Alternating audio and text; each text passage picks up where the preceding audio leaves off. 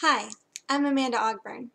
Today, people who have spent time and money on educating themselves are known for making their communities and nations a better place to live. Those who teach are held in even higher esteem for spending their lives imparting their knowledge and wisdom. For some parents, a college degree is often required before you can court or date their child. These seem to be standard thoughts in most industrialized nations. However, education was once considered a privilege and standard, available mostly to the affluent or particularly gifted. Education was the foundation to be considered as an accomplished gentleman.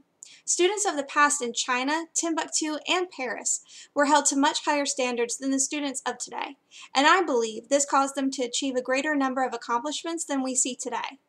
Though each country differed on what they believed to be the most important about education, they all agreed that the expectations for a well-educated man pointed to a life of consistent study, respectful inquiries, and humble reflection. I will explain my way of thinking by reviewing the common standards that these epicenters of learning expected from their students. With each standard, I will provide examples from old texts that were for the students' edification. I will also discuss life after university and the foundation of character that these students were expected to have.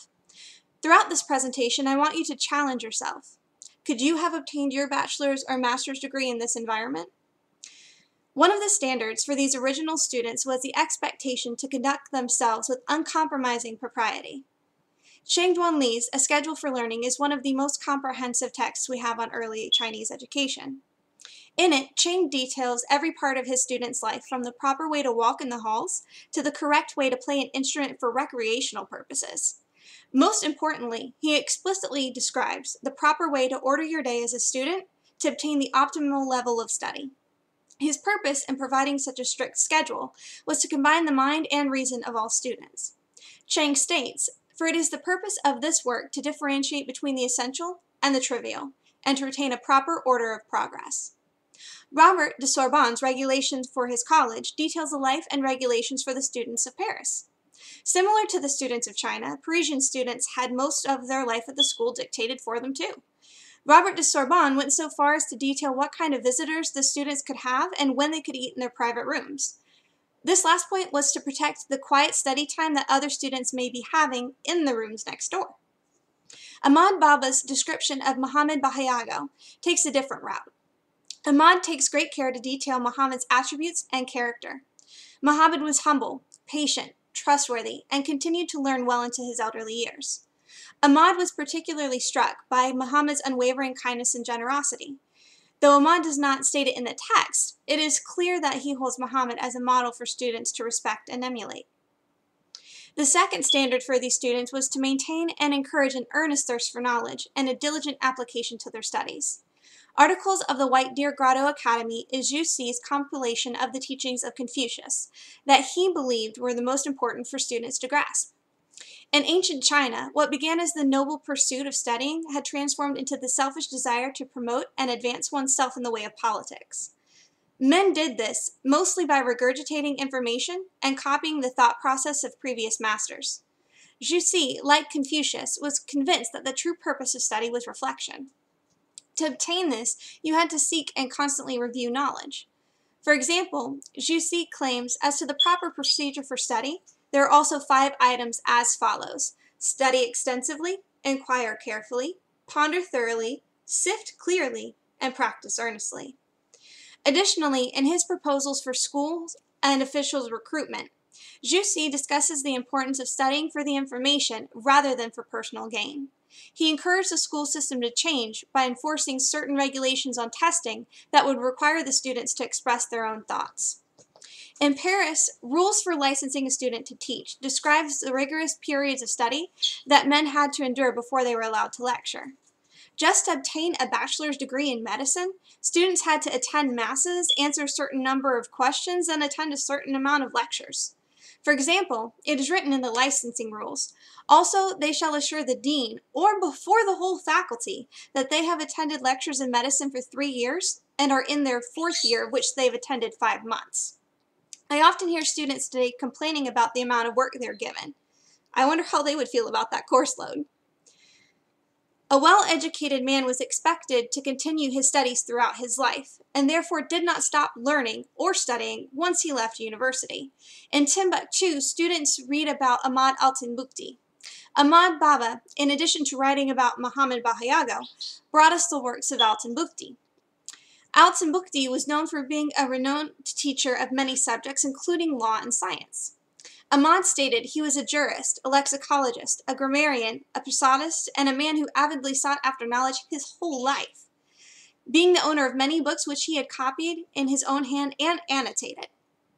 When describing Muhammad, Ahmad Baba discusses that continuing education was a righteous pursuit for a holy man. He, Muhammad, and Ahmed Altan Bukti all believed that learning was an avenue of worship. Zhu Xi believed that continuing and constant education was the way to maintain just officers in the government. In essence, if the system of education was changed to benefit those with good character, it would force those of selfish attitude out. In proposals for schools and official recruitment, he called for certain elements of the examination to be disbanded and called for moral conduct to be placed in larger focus. Each student was also expected to make respectful inquiries of information instead of receiving ideas at face value. Where most of today's schooling is focused on parroting back answers, the original students were expected to ask questions of their teachers and professors. They were also expected to challenge ideas and concepts as well as attend debates between their teachers. Taking an essay or a theory without first questioning its truth or possible flaws was considered foolish. In Zhu Xi's article of the White Deer Grotto Academy, previously quoted, three of the five points for learning are centered on discernment and deduction. Robert Courson's statutes for the University of Paris specifically require students to attend debates of their masters. This was to encourage them to ask questions and delve deeper into practical knowledge of their subjects. Ahmad Baba's description of Muhammad Bahayago describes a scenario in which Muhammad was tested by a student with new information. Instead of shaming or ignoring that student, Muhammad would listen. Uh, Ahmed Baba also wrote, I drew his attention to one of my writings, and he was pleased with it, and wrote praise of it in his own hand. Indeed, he wrote down portions of my scholarly research, and I heard him quoting it in some of his classes, for he was fair minded and humble, and ready to accept the truth from wherever it came. Lastly, each student is expected to humbly reflect upon himself and his achievements to determine if there is anything further he can do to improve humanity around him. Simply improving yourself was not enough for these ancient masters. To become a well-rounded and accomplished student, one must also be humble and helpful. Chang Duan Li's schedule for learning holds his fellow teachers to this high standard. He claims that Confucius started with ensuring his students understood true humanity before they began to study anything else, and they must also do the same. Ahmad Baba also provides great detail of, hum of Muhammad's humility in the description of Muhammad Bahayago. For example, with all this, he was constant in his devotions, shunning immorality, thinking well of all mankind, even oppressors, minding his own business and eschewing curiosity over what was not his concern. However, the act of being humble or understanding humanity was merely the first step. Students also had to show kindness to those below them in station and assist the poor. In Robert Courson's Statutes for the University of Paris, the rules of the school dictated what type of clothing the students should wear, and that the remainder of their clothes should be given as donations to the poor. Can you imagine showing up at your dorm and donating almost all of the clothes you brought with you? In conclusion, our predecessors were expect expected to study diligently, quietly, and for many years before they could even obtain a status or degree.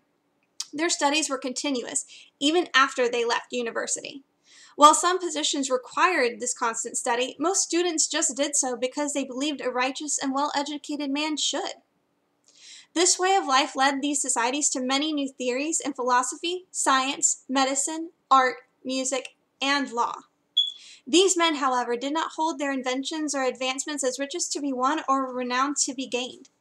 Each of their cultures placed a value on serving others with patience and joy because this is what a good, educated man does.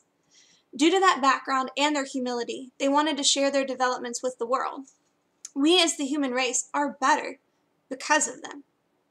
Which begs the question, if we all studied in the same fashion, what could we give to the world? Thank you for watching. I hope you enjoyed.